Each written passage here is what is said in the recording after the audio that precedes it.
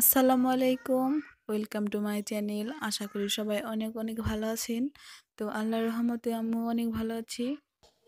আমার এই গোলাপ ফুলের শুভেচ্ছা জানি সবাইকে আজকের ব্লগটা শুরু করছি।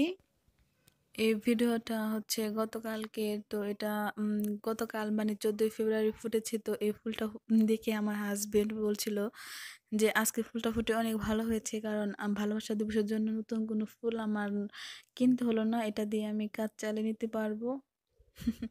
যাই হোক, আজকে সকাল সকাল ঘুম থেকে উঠে আমি নাস্তা টাস্তা খেয়ে দশটা সাড়ে দশটা দিকে হচ্ছে আমি বেবিদেরকে একটু আলু ভেজে দিচ্ছি। কারণ সকালে ওরা তেমন নাস্তা করে না। তো এগারোটার দিকে হালকা পাতলা নাস্তা দিলে কিন্তু খুব এনজয় করে খাই। আর এগুলো আমি হচ্ছে ফ্রেঞ্চ ফ্রাইয়ের মতো করে ভেজে দিচ্ছি। বাইরের খাবারটা কিন্তু আমাদের জন্য বেবিদের জন্য একদম স্বাস্থ্যকর নয়। তো আমরা যদি বাইরের মতো করেই ঘরেই আমাদের স্বাস্থ্যসম্মতভাবে রান্না করি বেবিদেরকে খাওয়াই, তাহলে কিন্তু ওটা অনেক ভালো হয়। আর এইদিকে হচ্ছে ওই আলুগুলোকে আমি হালকা একটু ব্যাটারে, এই ব্যাটারটা আমি আতপ চাল আর ময়দা হালকা চিনি আর হচ্ছে বেকিং পাউডার দিয়ে মিক্সড করে নিয়েছি। কয়েকটা আলু আমি এর মধ্যে চবিয়ে ভাজছি কারণ এটাও খেতে কিন্তু অনেক ভালো লাগে। এটা চায়ের সাথে খুব ভালো লাগে খেতে। তো এভাবে ভেজে দিচ্ছি, আবার ফ্রেঞ্চ ফ্রাইয়ের মতো করে ভেজে দিচ্ছি। আপনারা কিন্তু চাইলে এরকম করে বাসায় বেবিদেরকে দিতে পারেন। যাদের বাসায় বেবি আছে, তো তারা কিন্তু অনেক মজা করে খাবে। অনেক সময় আছে বেবিরা কিন্তু খাবার খেতে চায় না, অনেক বায়না করে বাইরের খাবার খাবে বলে। তো আমরা যদি বাইরের খাবারটা অ্যাভয়েড করে ঘরেই বানিয়ে দেই, তাহলে সত্যি আমাদের বেবিদের নিয়ে কিন্তু কোনো সমস্যাই হয় না। আর ওরা অনেক এনজয় করে খায়। তো এটা ভাজার পরে আমরা বাড়ির সবাই মজা করে খাচ্ছি। তো এটা খাওয়ার পর হচ্ছে আমি আজকে দুপুরের জন্য রান্না করব। আজকে আমি দুপুরে রান্না করব হচ্ছে সিম দিয়ে এই দেশি আলুটা মিক্সড করে বড় মাছ দিয়ে রান্না করব। এগুলো কিন্তু ওই দিন খেতে থেকে আমার শাশুড়ি কিনে এনেছিল। আর হচ্ছে আমি এখানে লাফা বেগুনটা ভাজবো।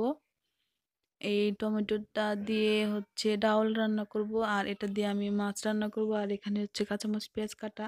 তো এইগুলো সব কিছুই হচ্ছে আমার ভাবি কেটে রেখেছিল। সব কিছু যদি কাটাকুটি করা থাকে আগে থেকে, তাহলে কিন্তু রান্না করতে অনেকটা সহজ হয়ে যায়। তো এখানে আমি ডাল চড়ে দিয়েছি। আজকে আমি একটু বেশি করে ডাল রান্না করছি কারণ আমাদের খেতে কাজ করার জন্য দুজন লোক রাখা হয়েছে। তো এর জন্য আমরা একটু বেশি করে ডাল রান্না করছি। আর এখানে হচ্ছে আমি কয়েকটা মাছ ভেজে নিচ্ছি ডাউলের সাথে খাওয়ার জন্য। ডাউল দিয়ে কিন্তু মাছ ভাজা খেতে খুব ভালো লাগে। আমাদের বাড়ির সবাই এটা খুব পছন্দ করে। তো আমি ভালোভাবে উল্টে পাল্টে মাছগুলোকে বেজে নিচ্ছি। এটা কিন্তু গতকালকের ভিডিও তো গতকালকের ভিডিও আমার একটু সমস্যা থাকার কারণে আমি আপলোড দিতে পারিনি। ভাবলাম আজকে আপলোড দেই। তো কালকে যেহেতু ভালোবাসার দিবস গেছে, তো অবশ্যই সবার ভালোবাসার মানুষটার সাথে ভালোবাসার দিনটা অনেক ভালো কেটেছে। তো আমারও অনেক ভালো কেটেছে, আলহামদুলিল্লাহ।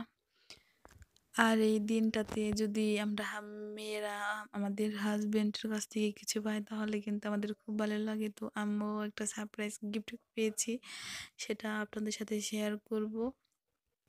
আমার হাজব্যান্ড সবসময় আমাকে কম দামি কিংবা বেশি দামি গিফট দিলে তাতেই আমি অনেক খুশি থাকি।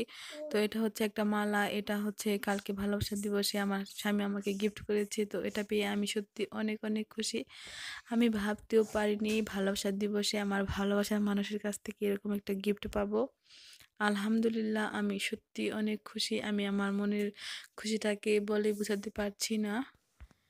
আর শুধু আমি নয়, পৃথিবীর সব মেয়েরাই মনে হয় তাদের স্বামীর কাছ থেকে ভালোবাসা মানুষের কাছ থেকে কোনো গিফট পেলে অনেক অনেক খুশি হয়। তো আমি আমার এই ছোট্ট খুশিটুকু সবার সাথে শেয়ার করলাম। সবাই আপনারা আমাদের জন্য দোয়া করবেন। সে পর্যন্ত সবাই অনেক অনেক ভালো থাকবেন, সুস্থ থাকবেন। ভালো ভালোবাসার মানুষটির সাথে ভালো থাকবেন। আল্লাহ হাফিজ সবাইকে।